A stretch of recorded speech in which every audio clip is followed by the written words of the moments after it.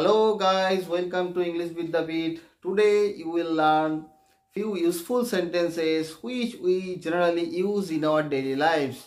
আজকে তোমরা শিখতে চলেছো কিছু গুরুত্বপূর্ণ বাক্য যেগুলো আমরা সচরাচর আমাদের ডেইলি লাইফে ব্যবহার করে থাকি ঠিক আছে তো সেইগুলো কীভাবে ইংরাজিতে তোমরা বলতে পারবে খুব সহজে সেগুলোই দেখো আমি আলোচনা করব ডিসকাস করব আর তোমাদের তো বলেইছি আমি যে স্পোকেন ইংলিশ মানে কিন্তু এমনটি নয় যে গ্রামার ভালোভাবে শিখে, শিখতেই হবে গ্রামার ভালোভাবে বা গ্রামারে এক্সপার্ট হতে হবে ডেপ থাকতে হবে এমনটি নয়। কারণ এটা হচ্ছে স্পোকেন ইংলিশ এর ইন্ট্রোডাক্টরি ক্লাস আমি অলরেডি নিয়েছি। তো those who have miss those classes please do visit the playlist and see all my previous classes okay so let's start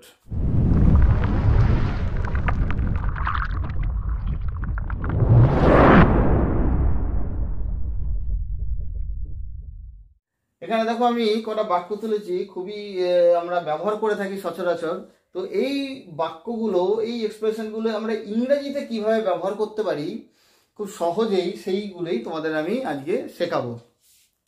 আমরা সচরাচর বলেই থাকি, কেউ যদি খুব টাইম মেনটেন করে চলে, যে কোনো ব্যাপারে হোক, ঠিক আছে? যে কোনো ব্যাপারে হোক, আমরা দেখি না, আশেপাশে অনেক কিছু লোক আছে যারা একদম টাইম বলতে একদম একদম ঘড়ির কাটা ছাড়া কিছু বোঝে না। একদম ঘড়ির কাটায় কাটায় চলে। ঘড়ির কাটায় কাটায় মানে কি? একদম টাইম মেনটেন করে চলে সেই ঘড়ি মানে এক মিনিটও এদিক ওদিক হয় না। তো সেই রকম ক্ষেত্রে যে আমরা বলি বাংলাতে যে লোকটা একদম ঘড়ি কাটায় কাটায় চলে, সেটাকে ইংরেজিতে কি বলব? না? দেখো আমি এখানে লিখেছি, লোকটা ঘড়ির কাটায় কাটায় আসে বা চলে। লোকটা ঘড়ির কাটায় কাটায় চলে বা আসে। তো দেখো, এবারে তুমি যদি পুরো এইটাকে ওই টেন্সের মতো করে ইয়ে করে করতে চাও, কাটা ইংরেজি জানতে হবে, কাটা কিন্তু এখানে ওই গাছের কাটা নয়, এটা যেন মাথায় থাকে হ্যাঁ? বাংলার মতো কিন্তু ওরকম ইংরেজি, ওরকম সচর পুরো একদম হুবহু ট্রান্সলেট করে দিলে হাস্যকর হয়ে যেতে পারে হ্যাঁ?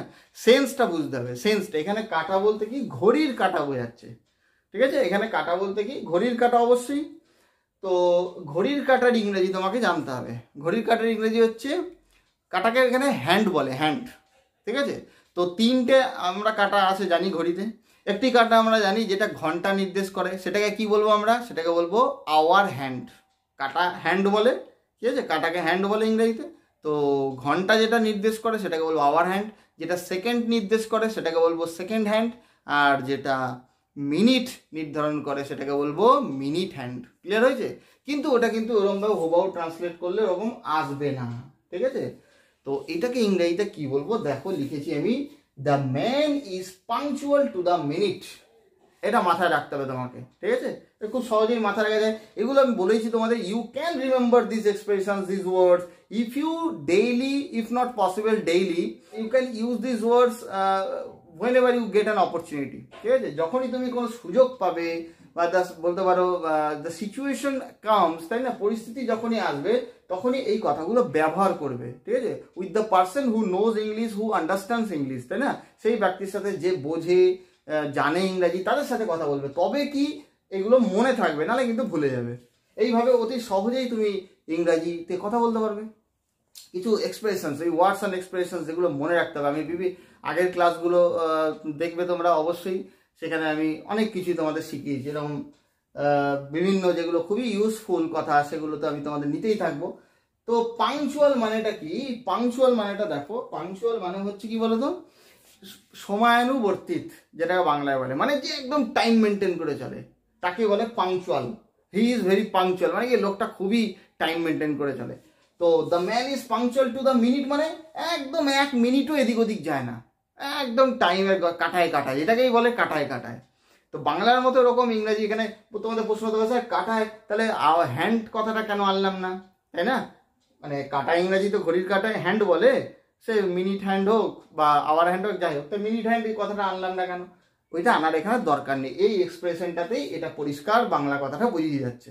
সেটা ওই জন্যই বাংলার মতো পুরোপুরি হুবাহু ইংরাজি ট্রান্সলেট করতে যাবে না কখনো, ঠিক আছে? পুরোপুরি এরকম সব ক্ষেত্রে হয় না। প্রত্যেকটা ভাষারই এক্সপ্রেশনের আলাদা আলাদা দিক আছে, আলাদা আলাদা বৈশিষ্ট্য আছে, সেই ভাষাটার সেই দিকগুলোকে বুঝতে হবে। তো যারা বুঝবে না, এই কথাগুলো সবাই তো আর গ্রামারের ডেপ তত বুঝবে না। তো এই কথাগুলো জাস্ট মনে রাখো। এই কথাগুলো মনে রাখলেই তুমি এরকম প্রসঙ্গ এলে ব্যবহার করলেই হয়ে গেল। স্পোকেন ইংলিশ জানতে গেলে তো আর গ্রামারে এক্সপার্ট হতে হবে না বলেছি। এটা মানে নেসারি নয়, হতেই হবে এরকম কোনো ব্যাপার নেই। সবাই তো আর গ্রামারে এক্সপার্ট হবে না, তাই না? তো the man is punctual to the minute এটা একটা বলতে পারি পাংচুয়াল মানে বললাম যে একদম টাইম মেনটেন করে চলে। আরও একটা আমি বলে দিতে পারি তোমাদের, দেখো। এখানে আমি অবলিক দিয়ে লিখে দিচ্ছি। The man the man always always comes on time এইটা জেনে নাও। অন টাইম এটা প্রিপোজিশনের ব্যবহারও শিখে যাবে। The man always comes on time এই যে অন টাইম এই যে অন এখানে ইনও লিখতে পারতাম, অনেকে প্রশ্ন করবে, স্যার ইনও তো হয় ইন টাইম কিন্তু ডিফারেন্স আছে, এটা হবে না। কেন হবে না? ইন টাইম যখন বলব না, সময়ের মধ্যে বোঝায়। মানে সময়ের একটু আগেও বলতে পারো, এক মিনিট দু মিনিট তিন মিনিট আগে। সময়ের মধ্যে সে আসে। কিন্তু অন টাইম যখন বলব না, একদম কাটায় কাটায়। বুঝে গেল? একদম কাটা কাটা ধরো আমি বলছি তোমার কোথাও নটার সময় বা দশটার সময় কোথাও একটা কিছু কাজ আছে। তো তুমি নটা বা দশটার মধ্যে যদি যাও, তখন ইন টাইম বোঝায় আর যদি একদম কাটায় কাটায় নটায় বা দশটায় একদম পুরো ঘড়ির কাটায় কাটায় তুমি পৌঁছাও বা কাজটায় অ্যাটেন্ড করো, তখন অন টাইম বোঝাবে ক্লিয়ার হয়েছে? তার আমরা এটা বলতে পারি দ্য ম্যান অলওয়েজ কাম সর্বদা আসে অন টাইম তার মানেই লোকটা ঘড়ি, ঘড়ির কাটায় কাটায় আসে বা কাটায় কাটায় চলে আর কি। ক্লিয়ার হয়েছে? বোঝাতে পারলাম? কীভাবে এই বাংলা কথাটাকে আমরা ইংরাজিতে দুভাবে আমি বুঝিয়ে দিলাম, দুভাবে। The man is punctual to the minute বা the man always comes on time যেটা তোমার ইচ্ছা, দুটোই জেনে নাও। বিভিন্ন ক্ষেত্রে, বিভিন্ন সময় বিভিন্ন রকম ডিফারেন্ট ইউজ করতে পারবে। ওকে নেক্সট দেখো, এই কথাটাও আমরা প্রচুর ব্যবহার করে থাকি। তুমি বিনা কারণে রেগে যাচ্ছ। বলি না? তুমি ফালতু রাগ করছ। কেন এত রাগ করছ ফালতু? বিনা কারণে। বলি না? তো এইরকম ধরনের কথা আমরা কি বলব ইংরেজিতে? দেখো, রাগ ইংরাজি তো দেখো অ্যাঙ্গার থেকে আসছে কথাটা। A N G R anger anger হচ্ছে নাউন ফর্ম বা ভার্ব ফর্মও হয়। একটা ওয়ার্ডের ভিন্ন ভিন্ন পার্শ্ব স্পিচ হয়। এটা গ্রামাটিক্যাল দিকে একটু বলছি। অ্যাংরি হচ্ছে অ্যাডজেক্টিভ রাগি। দেখো আমি কি লিখেছি? You are unnecessarily getting angry unnecessarily এই যে কথাটা আননেসেসারিলি মানে হচ্ছে বিনা কারণে। এই যে বিনা কারণে, এটাই মানে হচ্ছে আননেসেসারিলি তাহলে বিনা কারণে ইংরেজি কি জেনে নিলে? আননেসেসারিলি ঠিক আছে? নেসেসারিলির বিপরীত। ঠিক আছে? তো তুমি বিনা কারণে রেগে যাচ্ছ গেটিং অ্যাংরি এবার অনেকের প্রশ্ন হতে পারে, এই যে গেটিং কথাটা, একটু গ্রামাটিক্যাল দিকটা বুঝিয়ে দিচ্ছে হ্যাঁ? একদম করাতে করাতে তোমাদের গ্রামাটিক্যাল দিকগুলো আমি বুঝিয়ে দেবো। যারা নিতে পারবে, নিয়ে নাও। আর যাদের গ্রামার শেখার ইচ্ছা আছে, আমি তো বেসিক্স ক্লাস থেকে একদম থিওরি একদম করাচ্ছি বেসিক্স থেকে। তো সেখানে তোমরা প্লে লিস্টে যাও, গিয়ে শিখতে পারো, যদি কেউ চাও। কারণ স্পোকেন ইংলিশ তো সব বয়সের লোকেদের জন্য যেই চাই সেই শিখতে পারে। এবার যারা গ্রামার শিখতে চায় না, তারা এখানে ডাইরেক্ট আমি সরাসরি করাচ্ছি, এগুলো মনে রেখে এখানেও গ্রামাটিক্যাল দিকগুলো টুকটাক তো আমি বলেই দিচ্ছি। আর যারা সব কিছু শিখতে চাইছে, তারা অবশ্যই ওয়েলকাম প্লে লিস্টে ঠিক আছে? ইউআর এই যে গেট কথাটা গেট মানে তো অনেকে যারা বোঝে না, তারা বলবে গেট মানে তো স্যার পাওয়া হয়। গেট গট গট বা গেট গট গটেন হয়, তিনটে ফর্ম আমরা জানি। গটেনের গটও বলে, ঠিক আছে? জিও টিও বলে, আবার G O double T E N গটেনও বলে, ঠিক আছে? Get got gotten forget forgot forgotten বা ফরগেট ফরগট ফরগট তিনটে ফর্ম ভার্বের যারা গ্রামার শিখতে চাও, অবশ্যই গ্রামার বই থেকে চর্চা করা উচিত হ্যাঁ? Present form past form past participle form তো যাই হোক তো গেট মানে তো পাওয়া আমরা জানি। তাহলে এটা আবার কীরকম মানে হচ্ছে? যে বিনা কারণে অপ্রয়োজনীয়ভাবে পাচ্ছ রাগি। এরকম মানে হয়? দাদা, দেখো, বাংলার মতো কিন্তু সব ক্ষেত্রে ইংরাজি হবে না। এর মানে তো গেট মানে পাওয়া এই word may have multiple meanings মনে রাখবে, একটা শব্দের বহু অর্থ হতে পারে। মোর দ্যান ওয়ান মিনিংস ঠিক আছে? একের অধিক অর্থ হতে পারে। সেগুলো তোমার জানতে গেলে ভালো ডিকশনারি কনসাল্ট করতে হবে। তো আমি এখানে বলি যে গেট মানে শুধু পাওয়া হয় না। গেট মানে কিছু নিজে হওয়াও বোঝায়। বি ভার্ব আছে না? বি বি মানে নিজে হওয়া শিখিয়েছি না আমি ভার্বের ক্লাসে তো গেট মানেও হওয়া বোঝায়, নিজে হওয়া। তো সেই অর্থে এখানে বসল যে তুমি বিনা কারণে কোনো রকম কারণ ছাড়াই মানে ফালতু রেগে যাচ্ছ। হ্যাঁ? রেগে যাচ্ছ। মানে কি নিজে রায় রেগে যাচ্ছ, তাই না? নিজে হওয়া বোঝাচ্ছে না? নিজে রেগে যাচ্ছ। নিজে হওয়া বোঝাচ্ছে। ওই জন্য আমরা গেটের ব্যবহার করতে পারছি। আর রেগে যাচ্ছ চয় ছ আছে, বাংলায় ক্রিয়া শেষে চয় ছ থাকলে কন্টিনিউয়াস টেন্স আমরা ব্যবহার করি। যারা প্রেজেন্ট কন্টিনিউয়াস জানো, তারা বুঝতে পারছ, এই যে আর গেটিং বি ওয়ান ভাবের রুটের সাথে অ্যাংরি এটা গ্রামাটিক্যাল দিকেও বলে দিচ্ছি আমি you are unnecessarily getting angry ঠিক আছে? অ্যাঙ্গার হবে না কিন্তু অ্যাংরি কারণ এখানে অ্যাংরিটা কাকে বোঝাচ্ছি? ইউ প্রোনাউনটাকে বোঝাচ্ছে। আর নাউন বা প্রোনাউনকে যে ওয়ার্ড কোয়ালিফাই করে, তাকে অ্যাডজেক্টিভ বলে। আমি দেখো একসাথে তোমাদের স্পোকেন প্লাস গ্রামার সবই দিক আলোচনা করে দিচ্ছি। তাহলে বিনা কারণে তুমি রেগে যাচ্ছ, এটা ইংরেজিতে কি বলব? এক কথায় মারাবি you are unnecessarily getting angry he is unnecessarily getting angry ঠিক আছে? এরকম মাথা রাখতে পারবে। আচ্ছা আরও একটা বলে দিই। এটাকে আরও একভাবে বলা যায়, জায়গা লেখা যাচ্ছে না। তো মুখে বলে দিচ্ছি, এটাকে এরকম ভাবে বলতে পারি you are getting annoyed without any reason আমরা এটাকেও বলতে পারি you are getting annoyed without any reason without any reason মানে রিজন মানে হচ্ছে কারণ। আর ই এ এসও এন ঠিক আছে? রিজন মানে কারণ। কোনো কারণ ছাড়া উইদাউট এনি রিজন মানে কোনো কারণ ছাড়াই তুমি বিরক্ত হচ্ছে বা রেগে যাচ্ছ।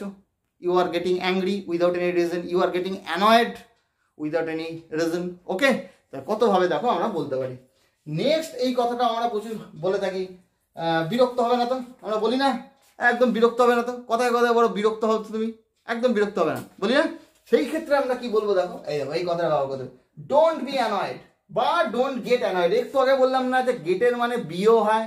বললাম না গেট মানে নিজে হওয়াও বোঝায়। সেটাই আমি অবলিক দিয়ে দেখিয়ে দিলাম। দেখো ডোন্ট বি অ্যানয়েড ঠিক আছে? বি মানে নিজে হওয়া, নিজে বসেছে গেট অথবা গেট অবলিক দিয়েছি। ডোন্ট গেট অ্যানয়েড বা ডোন্ট বি অ্যানয়েড ঠিক আছে? বিরক্ত হয় ইংরেজি অ্যানয়েড ওই জন্য আমরা এটা অ্যানয়েড যে বিরক্ত অ্যানয়েড ব্যবহার করেছি। যদি এটা থাকে যে রাগ করো না তো, এই কথাটাও বলি না আমরা, রাগ করো না তো। তখন আমরা এটা কি করব? ডোন্ট গেট অ্যাংরি বা ডোন্ট বি অ্যাংরি এরকম বলতে পারি না? রাগ করো না। মাথা রাখল? মানে নিজে রাগ করো না বোঝাচ্ছে। তো ডোন্ট বি অ্যাংরি রেগে যেও না। বা ডোন্ট গেট অ্যাংরি বা রাগ করো না। এরকম মানে বোঝায়, ঠিক আছে? তাহলে এই কথাটা আমরা ব্যবহার করতে পারি, খুবই আমরা সচরাচর এই কথাগুলো ব্যবহার করেই থাকি। নেক্সট দেখো, এই কথাটা আমরা বলি না জোরে বলো। কেউ ধরো আস্তে আস্তে কথা বলে খুব। তখন আমরা বলি না, একটু জোরে বলো। বলি না, একটু জোরে বলো। তখন কি বলব? স্পিক লাউডলি এটা সোজাই যথেষ্ট। স্পিক লাউডলি অথবা অ্যালাউড লাউডলির পরিবর্তে উই ক্যান ইউজ অ্যালাউড ঠিক আছে? দুটোই অ্যাডভার্ব কোনো চিন্তা নেই, একই মিনিং কথা বলো উচ্চস্বরে। এটা আমি যদি গ্রামাটিক্যাল দিক বলি তোমাদের, এটা হচ্ছে অ্যাডভার্ব এই ভার্বটাই কোয়ালিফাই করছে। গ্রামার শিখে যাবে ওয়ার্ডের রিলেশন একটা বাক্যে ওয়ার্ডের রিলেশন বুঝবে যে একটা ওয়ার্ড আর একটা ওয়ার্ডের সাথে কি সম্পর্কে বসে আছে। ব্যাস, সেই সম্পর্ক অনুসারে সেই কাজ অনুসারেই, সেই ফাংশন অনুসারেই আমরা একটা ওয়ার্ডকে ক্লাসিফাই করি। এ কাজ করছে ভার্বকে কোয়ালিফাই করার কাজ করছে, ওই জন্য একে অ্যাডভার্ব বলব। এ কাজ করছে স্পিক কথা বলা কিছু কাজ করা বোঝাচ্ছে। ডুভার ডিভার ভার্ব ভার্ব তিন প্রকারের ভার্ব আছে, কিছু করা বোঝালে ডুভার্ব বলে, অ্যাকশন ভার্ব বলে।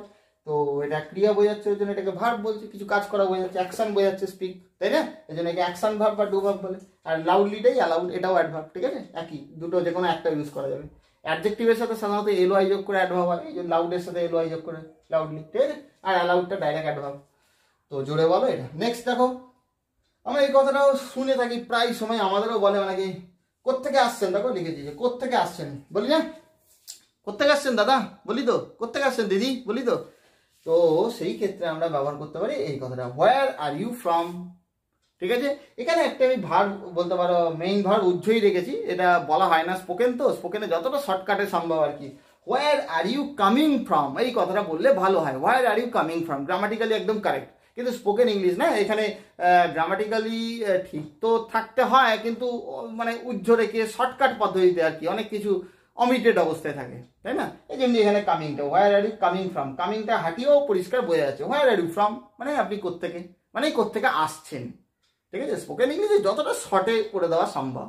কারণ চলতি না, চলতি কথায় অত গ্রামাটিক্যাল দিক বিশ্লেষণ, বিচার বিশ্লেষণ করে তো মানুষ বলবে না, তাই না? অত গ্রামাটিক্যাল দিক, ব্যাকরণগত দিক সবাই বুঝবেও না। এই যে আমরা বাংলা বলছি, বাংলা কি আমরা বলি কি সব কিছু শুদ্ধ বাংলা ব্যাকরণ একদম জেনে শুনে বুঝে বলি? কারণ এটা আমাদের মাতৃভাষা। আমরা ছোটোবেলা থেকে বলেছিলাম, আমি ইন্ট্রোডাক্টরি ক্লাসে অলরেডি এগুলো আলোচনা হয়েছে। আমাদের যা কানে এসছে ছোটবেলা থেকে আমরা শুনেছি, সেইগুলো, সেই থেকে আমরা প্রাকৃতিক একটা পরিবেশ যেখানে সবসময় একটা ভাষা বলা হচ্ছে, সেই ভাষাটা আমরা অটোমেটিক্যালি বলতে পারি। তো ইংরেজি তো সেটা সম্ভব না তাই জন্যই তোমাকে এইরকম ধরনের ওয়ার্ডস এক্সপ্রেশন যেগুলো সচরাচর আমরা ব্যবহার করে থাকি, এগুলো শিখতে হবে এগুলোর প্রয়োজনীয়তা বোঝাতে পারলাম, এগুলো জানতে হবে। একটু মনে রাখতে পারবে তখনই যদি এগুলো ইউজ করো। কাদের সামনে ইউজ করবে সেও আমি অলরেডি আগের ক্লাসগুলোতে বলেছি। যারা ইংরাজি জানে, বোঝে, তাই না? আর অবশ্যই যতটা পারবে, ঠিক আছে? As much as possible you have to listen to those who can speak English তুমি এবার প্রশ্ন করবে, কাদের কথা শুনব স্যার? ইংরাজি তো সবাই চেনা পরিচিত, অনেকেরই আছে, বলতে পারে না। Then listen to English news channel national English news channel বলেছি এটা আমি প্রথম ক্লাসে আমার স্পোকেন ইংলিশের প্রথম ক্লাসে আমি বলেছি যে, তাহলে ইংলিশ যে চ্যানেলগুলো আছে নিউজ চ্যানেল অবশ্যই আমাদের ইন্ডিয়ান নিউজ চ্যানেল আর কি ইংলিশ নিউজ চ্যানেল জাতীয় যে ন্যাশনাল যে ইংলিশ নিউজ চ্যানেলগুলো আছে, সেগুলো শোনো।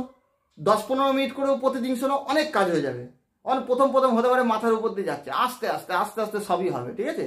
এবং বলতেও চাইবে, চেষ্টা করবে বলার জন্য। কেউ না থাকুক, আয়নার সামনে দাঁড়িয়ে বলবে just stand before a mirror and start speaking whatever you have in your mind যা মনের মধ্যে আছে, বলতে হবে, ঠিক আছে? There will be halt in your tongue মুখে জিভে আমাদের হল্ট হবে, আটকাবে। মনে রাখবে do remember none feels comfortable while speaking English for the first time মনে রাখবে, কেউই কিন্তু কমফোর্টেবল ফিল করে না। যারাই প্রথমবারের জন্য ইংরাজি বলতে বলতে শুরু করে আর কি, প্রত্যেকেই কমফোর্টেবল মানে আনকমফোর্টেবল একটা ফিল করে। ইট ইজ কোয়াইট ন্যাচারাল কারণ আমরা তো এই ন্যাচারাল এনভায়রনমেন্ট পাইনি ছোটোবেলা থেকে, তাই না? তো আমাদের উপায় হচ্ছে এক তো গ্রামারের আশ্রয় নিয়ে অনেকাংশেই করা যায়, কিন্তু মনে রাখবে গ্রামারে এক্সপার্ট হলেও যে তুমি স্পোকেনে ভালো হবে এমনটি নয়। ঠিক আছে? সেটা সেটাও কিন্তু সবাই পারে না। তো স্পোকেনের দিকটা একটু আলাদা আমি বলব। হ্যাঁ গ্রামার জানলে এটা প্লাস বলতে পারো প্লাস পয়েন্ট মানে বোনাস গ্রামার জানলে। তার অ্যাকুরেসি ভালো থাকবে, এটা ঠিক। কিন্তু স্পোকেন কিন্তু বলা, অভ্যেস করতে হবে, শুনতে হবে প্রচুর প্রচুর শুনতে হবে। তাদের কথা যারা ইংরাজি বলতে পারে এবং বলার চেষ্টাও করতে পারে। কেউ না পেলে নিজে নিজেই মনে মনে বলো। এইভাবে তুমি কিন্তু শিখতে পারবে। একটু টাইম নিতে পারে। ইট মে টেক সাম টাইম তাই না? অল্প কিছু সময় নিতে পারে। চার পাঁচ মাস ছ মাস টাইম লাগতে পারে, কিন্তু শিখবে অবশ্যই। এই কথাগুলো যেগুলো আমরা খুব ব্যবহার করি, এই কথাগুলোকে একটু মনে রাখা, এগুলোকে ব্যবহার করা, তাহলেই মনে থেকে যাবে। তো where are you come from ঠিক আছে? লাস্ট দেখো এটা আছে। তো কোথেকে আসছেন? তারপরে তো আমরা একটা আনসার দিই, একটা উত্তর দিই, যে অমুক জায়গা থেকে আসছি, এই অমুক জায়গা থেকে। তখন এটা কলকাতা থেকে, আমরা বলি না কথায় কথায়, অমুক জায়গা থেকে। কোথা থেকে না কমতে তা আমরা এরমভাবে কি পরিষ্কার বলি? আমি আসছি কলকাতা থেকে। বাংলায় বলি? এক কথায় বলি কলকাতা থেকে। তাই না? সেটাকে ইংরেজিতে কি বলব দেখো? I am from Kolkata. কি বলব? I am from Kolkata. দেখো কামিংটা আমি লিখেছি, কিন্তু ব্র্যাকেটে লিখেছি। I am coming from Kolkata. আমি আসছি কলকাতায় কিন্তু স্পোকেন ইংলিশে এই কামিংটা বলার দরকার নেই। I am from Kolkata.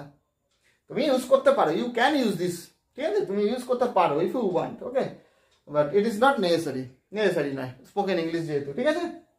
I am from Kolkata তো বোঝা যাচ্ছে এই কথাগুলো খুবই ইম্পর্টেন্ট আমরা ইউজ করে থাকি, সচরাচর বললাম তোমাদের, তো এইগুলো প্রয়োজন মনে হলে তোমরা লোড ডাউন করে নিতে পারো, লিখে নিতে পারো okay hopefully you have enjoyed the class and if you find this class useful then don't forget to subscribe to my channel and obviously share with your friends okay thank you see you again